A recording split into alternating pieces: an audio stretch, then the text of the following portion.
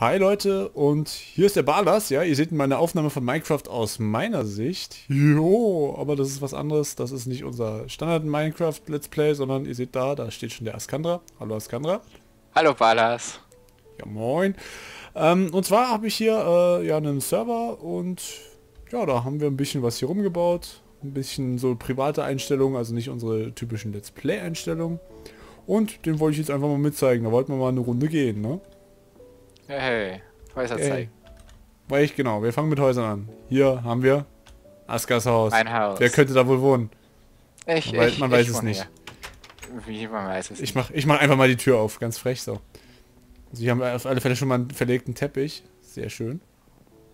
Das ja, es ist etwas spartanisch eingerichtet. So, hier? Ja, besser als bei mir. Bei mir ist ja... Äh, das werdet ihr gleich sehen. So, hier, zum Beispiel hat der Aska ein sehr schönes, ausgebautes Lager.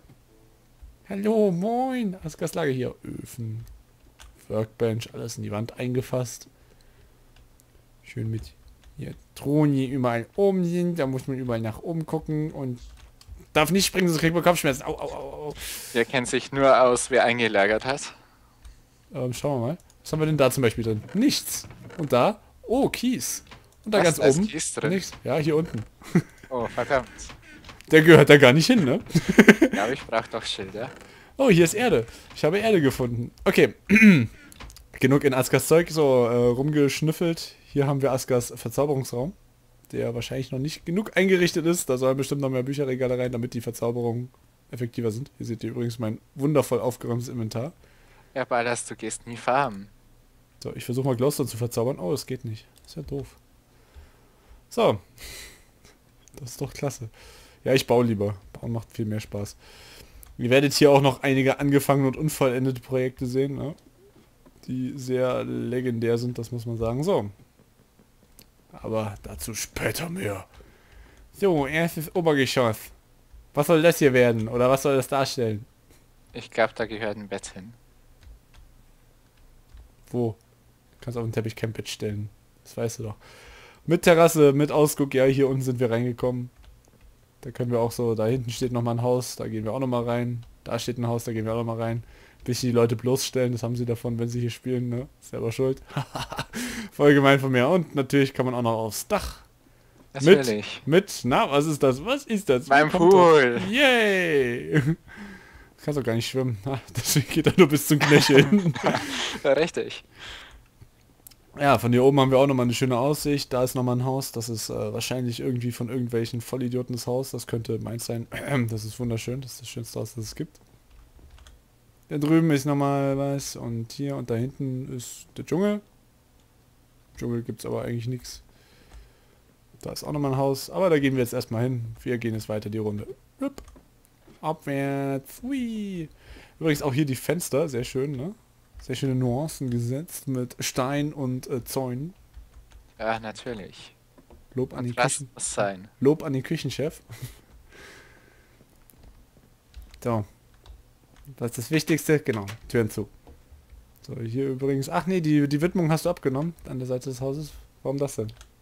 Ja, Waren die peinlich? Okay, dann gehen wir erstmal äh, zur Nachbarschaftshilfe natürlich, ne? Und hier, äh, das ist äh, das Häuschen von äh, Wienalia. Moment, hier muss ein Schild dran. Setz ein Schild dran. Schauen wir mal, was schreibt Askana uns für ein Schild. Ich bin gespannt.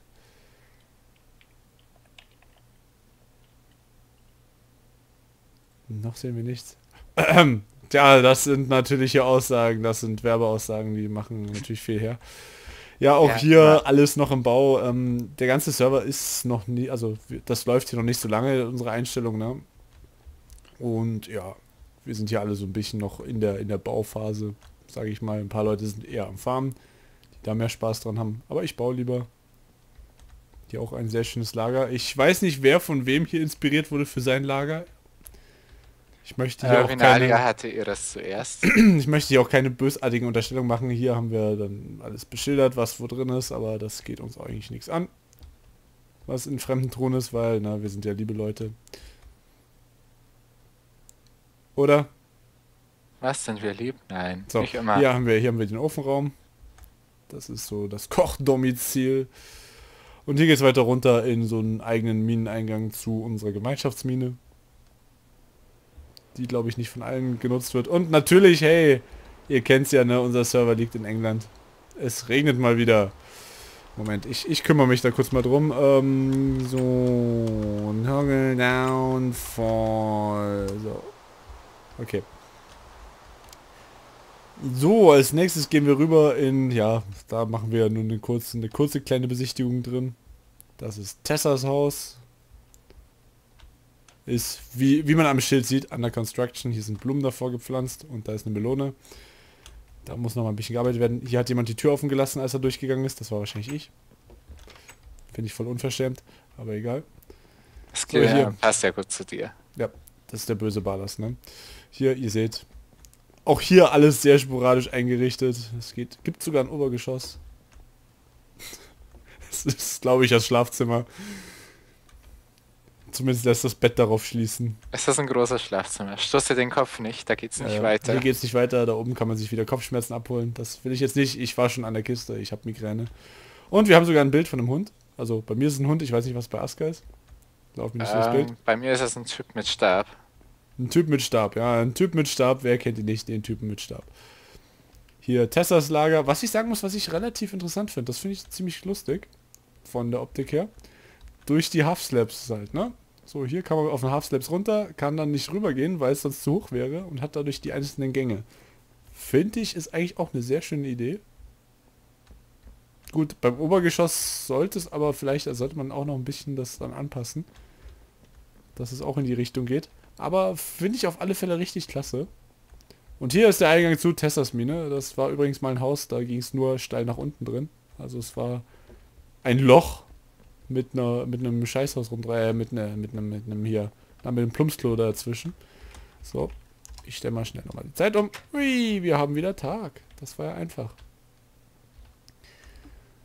So, dann gehen wir hier als nächstes diesem seltsamen Gebilde von irgendeinem Psychopathen das Haus, ne? Da kann ja natürlich. Meinst du, das ist total verwachsen, ne?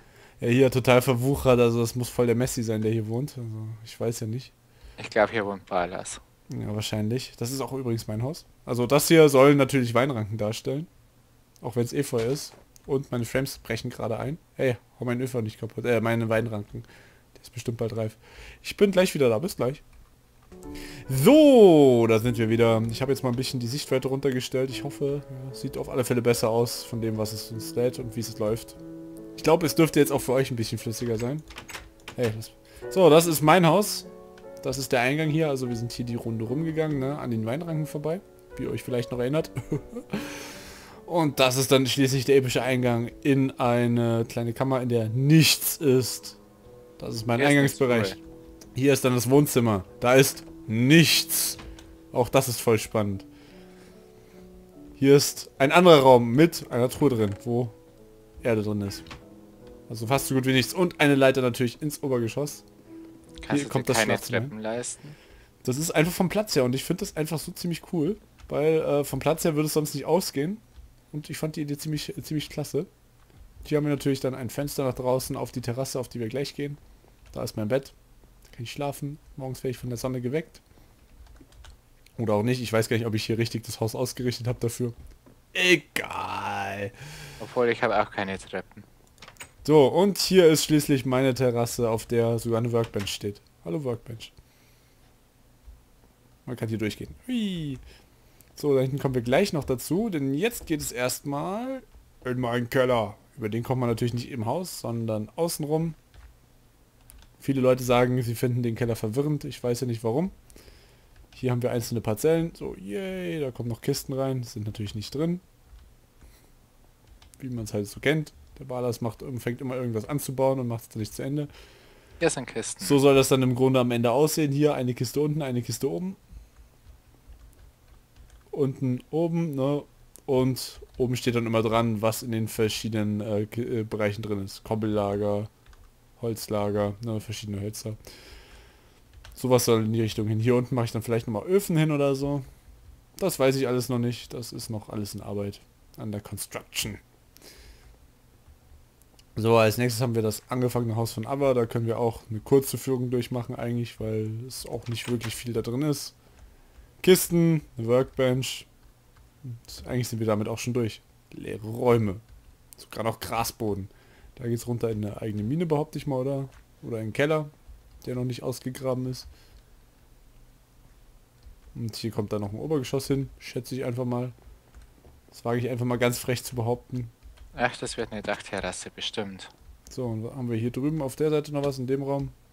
Nein, natürlich nicht. Damit haben wir hier diese Führung abgeschlossen. Und äh, was ich gerade von oben natürlich gesehen habe, der Baum. Dieser Baum hat, äh, hat eine Geschichte.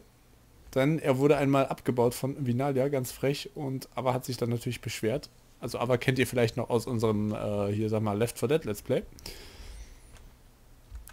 Und dann hat sie ihn natürlich neu aufgebaut. Das ist der Baum 2.0. Er ist wunderschön. Den Baum 1.0 habe ich abgeholzt. Okay, Askana hat den ganz frech abgeholzt, deswegen gibt es jetzt Baum 2.0. Ich, ich klaut euch hier echt alles unter der Nase weg. Ey. Ich glaube, da muss ich echt mal Machtwort sprechen. So, äh, Yuvi äh, hat zwar auch Rechte für den Server, also auch Rechte auf den Server hinzukommen, hat aber soweit eigentlich, soweit ich weiß, noch nicht wirklich was gebaut. Doch, er hat was angefangen, komm mit. Oh, oh, Aska, Aska weiß mehr als ich. Ja, wir laufen hier, ja. Ich habe hier, wir haben, wir können hier nicht fliegen, das finde ich voll gut. Aska? Aska, läufst du? Okay, ich glaube, da ist er weg oder ich bin weg. Wahrscheinlich hier oben irgendwo. Okay, da ist die Skype-Verbindung abgeschmiert. Mal schauen, ob Aska gleich wieder kommt. Kann ich was abbauen? Ja. Nein. Es kommt kein Block nach. Oskar? Ja. Okay, du bist wieder da. Wo bist du hin? Wo bin ich? Okay. Hier bin ich. Wer hat sich gerade aufgehangen? Okay, ich hatte mich anscheinend gerade aufgehangen, aber ich bin wieder da. Alles läuft, alles cool. So. Ja, komm jetzt zu Juvis Erdloch. Ah, okay. Juvi baut sich wieder so ein Erdloch-Budendingens. Oh, mit Schießscharten an der Seite sogar drin. Ist ja total gut. Alter, wie dunkel hat der das hier gemacht? Soll man denn da irgendwie was finden hier? So, das ist das Obergeschoss, ja. Sehr spannend bisher. Es ist viel zu dunkel, der muss den Scheiß mal ausleuchten hier. Da hat er wieder so eine indirekte Beleuchtungsquelle da reingemacht. Finde ich interessant. Haben wir ja auf unserem Let's Play Server, wie ihr vielleicht ja wisst, ähm, in der Bibliothek auch so äh, gemacht. So, so erstmal die Hand wieder rausholen. Die John Rambo Hand des Todes. So, damit haben wir Juvis äh, Erdloch abgehandelt. Und jetzt kommen wir natürlich zu den äh, größeren Bauten, die ich allein, beziehungsweise die wir zu zweit angefangen haben. Also der Großteil ist eigentlich von Askandra und mir, muss man sagen. Deswegen habe ich mir auch den dazu geschnappt zum Aufnehmen. Das ist Askandra übrigens. Ein großer Teil auch nur von dir ist. Ja, ähm, wir machen auch nicht die komplette Runde, weil das sind so ein paar Sachen, die werden nicht gezeigt. Das ist so Privatzeug von mir, die aus einer Zeit kommen, ähm, die vor meiner Bleib nicht in mir stehen, die vor meiner äh, aktiven Zeit irgendwie sind, die persönlicher Natur sind, sagen wir es so. Ah, okay. So, also hier haben wir einmal auch wieder einen Geräteschuppen, wie ihr ihn ja vielleicht auch kennt, bei einem kleinen Feld.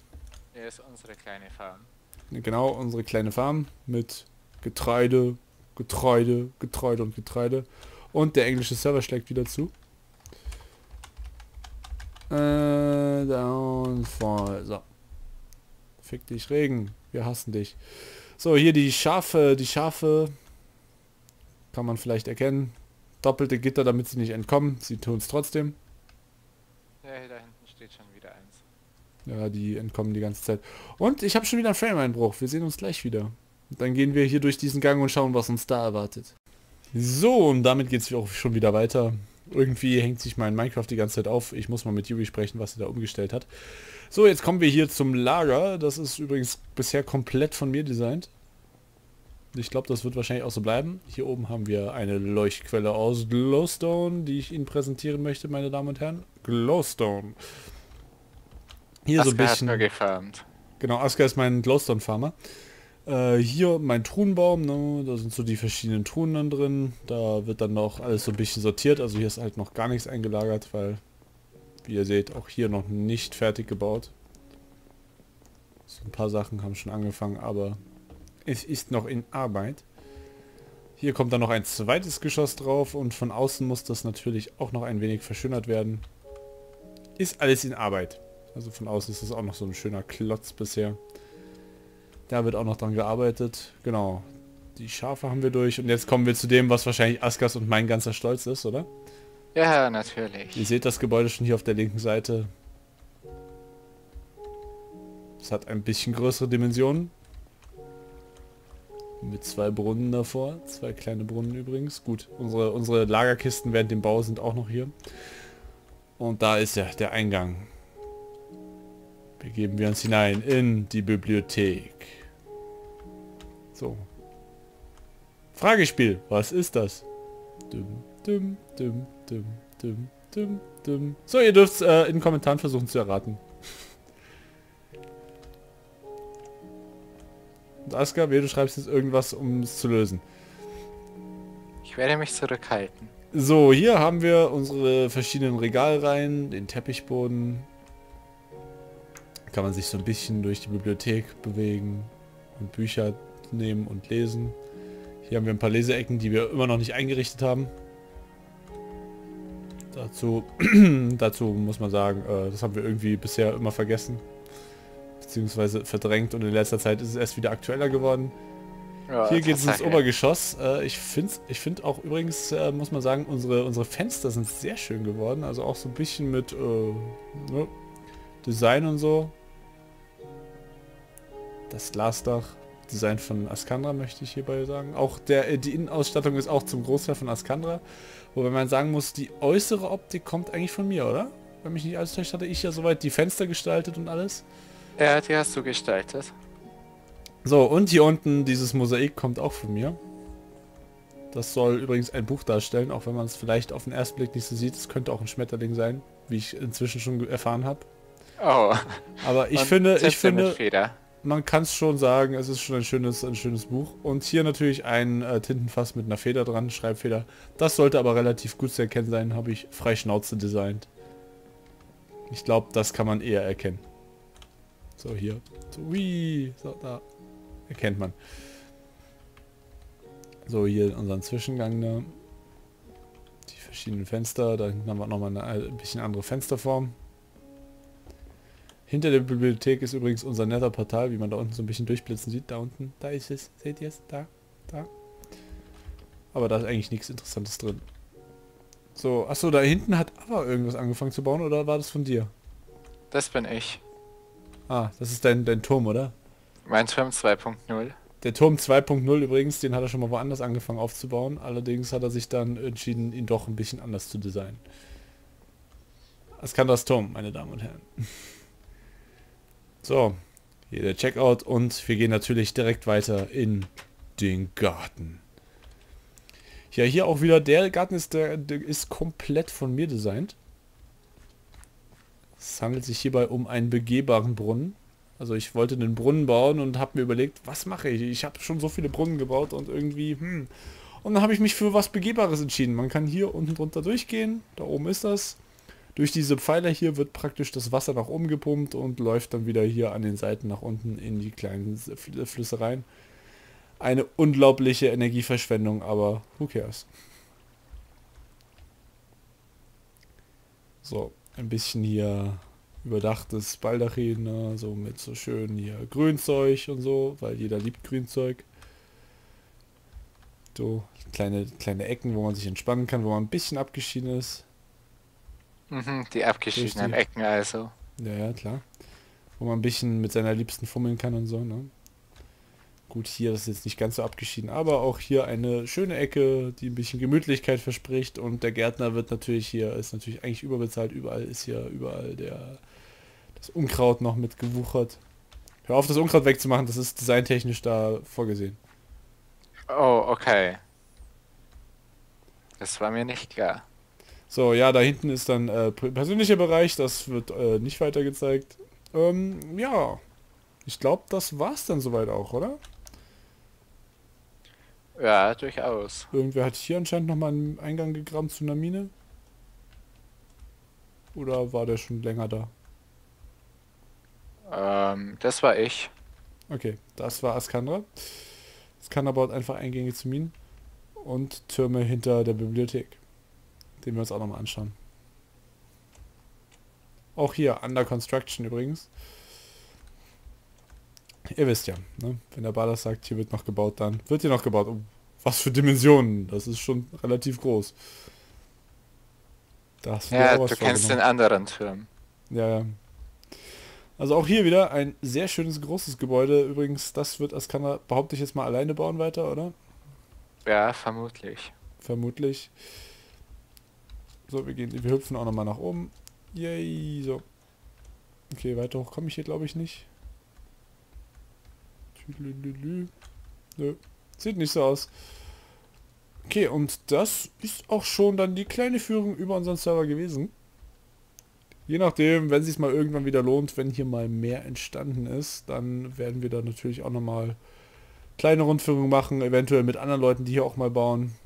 Vielleicht kann ich da mal den einen oder anderen noch mit, mit, mit zu bewegen, hier mal eine Runde mit rumzulaufen. Mal seine eigenen Bauwerke, Gedanken dazu vorzustellen. Und äh, ja, ich würde sagen, es ist lange her, dass Ballas ein Video gemacht hat. Jetzt ist mal wieder eins da und es kommen noch ein paar andere Sachen dazu. Bis die Tage, hey. Leute. Tschüssikowski. Tschüss.